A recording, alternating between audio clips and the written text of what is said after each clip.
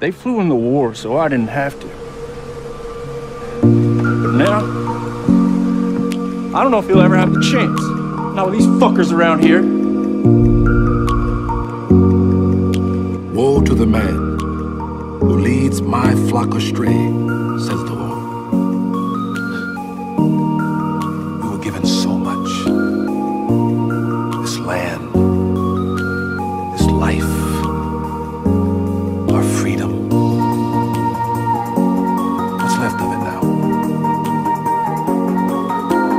people.